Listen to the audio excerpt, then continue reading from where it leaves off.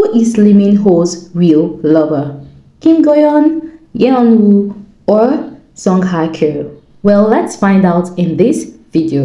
Lee Min Ho's agency has denied the rumors involving him and Yeon Woo. However, a person who claimed to be close to the two confirmed that this couple is indeed dating as Dispatch reported and that they got closer to each other thanks to gaming. Lee Min Ho rules the South Korean entertainment industry like no other. Lee Min Ho has ruled the hearts of his fans and his fandom isn't restricted to the boundaries of South Korea.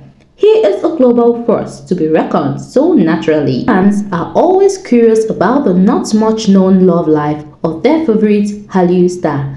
The air actor has always kept his love life under wraps, leaving the fans curious. According to reports from Korean site, Lee Min Ho and Kim Go-eun have been dating for over three years. The couple supposedly fell in love while shooting for their drama, The King Eternal Monarch, and have been together ever since.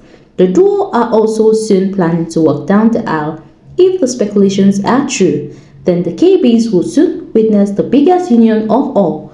Lee Min Ho and Kim Go-eun's agencies haven't accepted or denied the rumor, further escalating it. Lee Min Ho and Song Hye-kyo were reportedly doing a brand event together, one of the biggest collaborations in the South Korean entertainment industry. During the preparation of the event, the dating speculations of the two caught momentum as they were often photographed together.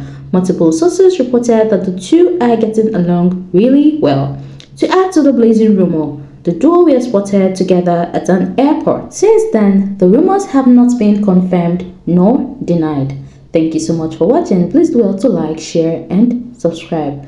Who do you think Lee Min Ho is getting married to? I want to know your thoughts in the comments section.